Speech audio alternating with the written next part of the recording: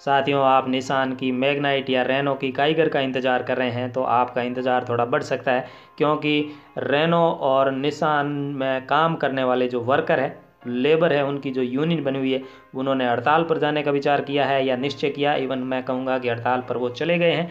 इस बारे में पूरी बात या जानकारी आपके साथ साझा करेंगे। नमस्कार प्यारे मित्रों, यदि आपने अभी तक इस चैनल को सब्सक्राइब नहीं किया है तो इसे सब्सक्राइब अवश्य करें, क्योंकि इसी प्रकार की खबरें हम आप तक सबसे पहले लेकर के आते हैं। साथियों, हमने एक वीडियो में आपके साथ ये चर्चा की थी कि निशान की जो लेबर यूनियन है, हालाँकि आपको बता दें कि निशान और रेनो की दोनों की ही कंबाइंड यूनियन है, क्योंकि एक ही फैक्ट्री में दोनों गाड़ियाँ बन रही है। तो ये जो यूनियन उनके अध्यक्ष है के बालाजी कृष्ण उन्होंने पिछले कुछ दिनों पहले एक नोटिस मैनेजमेंट को दिया था कि वो हड़ताल पर जाने वाले हैं। उसके बाद मैनेजमेंट ने कुछ प्रयास किए और ये सब हो रहा था कोविड को लेकर के कि भाई कोविड के मामले में हमें राहत नहीं दी जा रही है, बहुत सारे लोग पॉजिटिव आ रहे हैं फैक्ट्री में काम करने वाले और कंपनी कुछ नहीं कर रही हमारे लिए। तो फिर कंपनी ने 26 मई 2021 से 30 मई 2021 तक काम बंद रखा और उसके बाद ये घोषणा की वो इकतीस मई से अपना काम पुनः शुरू करेंगे, लेकिन यूनियन है, उसने इकतीस मई यानी सोमवार से काम पर आने से मना कर दिया। उन्होंने कहा कि हमारी जो मांगे हैं, उन पर सहानुभूतिपूर्वक विचार नहीं हुआ। लिहाजा हम काम पर लौटेंगे नहीं और वो इकतीस तारीख को काम पर लौटे नहीं। तो ये हम कह सकते हैं साधारण शब्दों में कि ये हड़ताल पर चले गए हैं सभी लोग, स्ट्राइक पर चले गए हैं। तो प्लांट में अभी पूरा जो काम है, वो पूरी तरह से ठप पड़ा है। इकतीस मई सोमवार से काम पुनः शुरू होना था, लेकिन मजदूर यूनियन के अध्यक्ष, जैसा कि हमने आपको बताया, के बालाजी कृष्ण, उन्होंने ये कहा या घोषणा की कि सोमवार से काम पर नहीं लौटेंगे।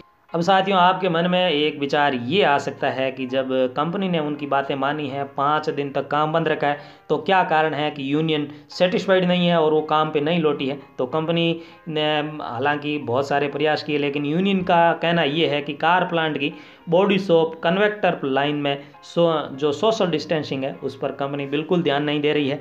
ज़्यादा मजदूरों को एक साथ बुला रही है ताकि प्रोडक्शन जो है प्रभावित ना हो। और साथ ही उनकी दूसरी मांग ये थी कि केवल 200 श्रमिकों को अभी तक पहला टीका लगा है, जो कोरोना टीकाकरण अभियान चल रहा है भारत में। कंपनी इस बारे में इंटरेस्ट नहीं ले रही है कि ये होना था कि कंपनी अपनी तरफ़ से एफर्ट लगा करके जो है सभी कर्मचारियों का टीकाकरण कर दे, लेकिन कंपनी ने ऐसा भी नहीं किया। और जिन पाँच व्यक्तियों की डेथ कोरोना की वजह से हुई है, जब से कोरोना आया तब से फैक्ट्री में या कहें कि प्लांट में तो जो यूनियन है उनकी ये मांग है कि ये जो लोगों की डेथ हुई है, पाँच लोगों की हुई, उनका जो परिवार है, उनके वेलफेयर के लिए भी कंपनी कुछ ज़्यादा नहीं कर रही है। तो ये भी मांगे थी, साथ ही अपनी स्वास्थ्य बीमा वगैरह लेकर के जो मांगे थी, वो हमने पहले वीडियो में चर्चा की थी।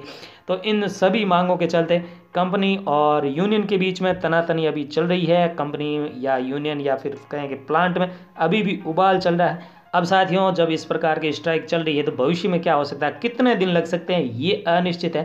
आशा करेंगे, क्योंकि यदि हम इनकी कारों का इंतज़ार करें तो हम यही आशा कर सकते हैं कि जितना जल्दी हो स्ट्राइक ख़त्म हो, ताकि प्रोडक्शन फिर से शुरू हो। लेकिन एक बात यहाँ तय है कि यूनियन इस बार काफ़ी अलग मूड में और वो चाहती है कि हमारी मांगों पर काफ़ी लंबे समय से हमारी मांगें चल रही है, लेकिन विचार नहीं किया जा रहा है, लिया जा।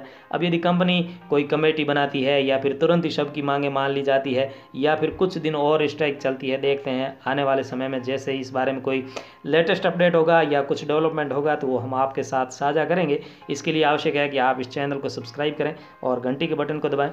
तो साथियों, अंत में ये आशा कर सकते हैं कि हमारी मैग्नाइट और काइगर के प्रोडक्शन पर जो काले बादल मंडल रहे हैं, वो जल्दी ही छट जाए और हमारी कार हमें समय पर मिल जाए। इन्हीं आशाओं के साथ आप सबका दिन शुभ हो। Thank you.